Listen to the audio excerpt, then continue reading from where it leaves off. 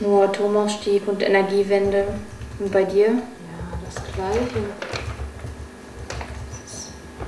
Es fällt nichts mehr ein, den Journalisten. Das Thema verfolgt uns, also echt. Ja. Spannend ist das ja nicht. Also seit Nee. Monaten Also, müssen wir uns das jetzt Ich weiß anhören. nicht, wie einen sowas interessieren kann. Atomstrom hin und her. Hauptsache, wir haben unser Licht, oder? Ja, also komm. Das mir doch egal, wo der herkommt. Äh, was ist denn das jetzt? Mann. Gibt's doch gar nicht. Ich hab's dir schon immer gesagt. Wären wir beim Atomstrom geblieben, dann würden wir jetzt nicht im Dunkeln sitzen.